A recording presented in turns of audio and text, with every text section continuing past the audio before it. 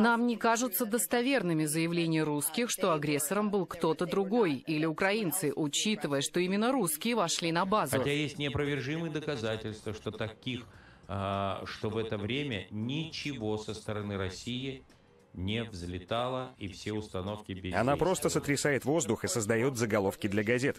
Но самое главное, она помогает американским СМИ, которыми владеют корпорации, выступать в роли эхо-камеры и продолжать демонизацию Во России. всех э, своих телевизионных передачах будут доказывать, что это сбили русские. Новый пресс-секретарь Государственного департамента заняла место Виктории Нуланд, провокатора из Госдепа, поддерживающего протестующих на Майдане, в том числе и ультраправых. В данный момент она не дипломат и не объективный пресс-секретарь. Посерьезнее, чем наша э, на вооружении у армии. У них есть CNN, Евроньюз, и как бы Меркель не хотела с Россией дружить, у нее все равно не получится.